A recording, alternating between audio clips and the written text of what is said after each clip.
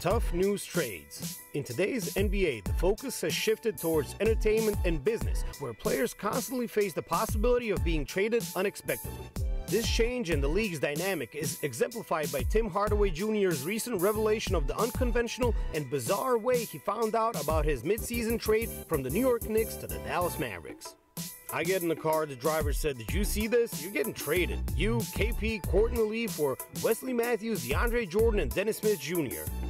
I was like, wow. Hardaway said on the Run Your Race podcast. Even though Tim hasn't managed to log career best statistics since joining the Mavs in 2019, he has evolved into a vital scoring option who is effective from anywhere on the court. The unconventional way in which THJ learned about his move to Dallas is actually nothing compared to the astonishing mid game trade of Harrison Barnes while he was on the Mavs in 2019.